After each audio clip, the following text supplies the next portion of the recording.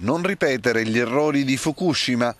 Con questo obiettivo le autorità giapponesi hanno testato una complessa operazione con cui si è simulato un violento terremoto.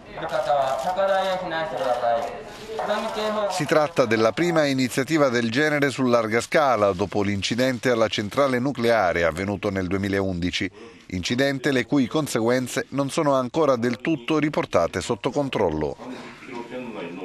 Alla simulazione ha preso parte anche il primo ministro Shinzo Abe, tornato al potere proprio lanciando la sfida di una migliore gestione del nucleare.